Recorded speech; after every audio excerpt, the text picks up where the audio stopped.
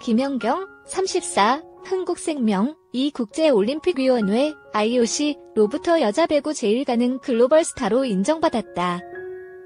24일 올림픽 채널 영어 에디션은 대한민국 김연경은 2021년 8월 국가대표팀에서 은퇴했지만 여전히 세계에서 가장 유명한 여자 배구 선수다. 올림픽 채널은 IOC가 2016년부터 운영하는 인터넷 방송이다. 유튜브 채널 구독자가 100만을 넘는다고 소개했다.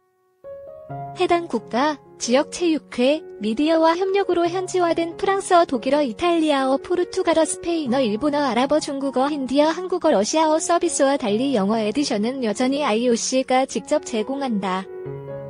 현재 구독자는 130만 이상이라고 설명한 올림픽 채널은 이 정도 규모로 유튜브 팬을 확보한 배구 선수는 남자까지 통틀어 김연경이 처음이라고 설명했다. 올림픽 채널은 김연경은 세계 선수권, 올림픽 메달 없이 국가대항전 경력을 마무리했다.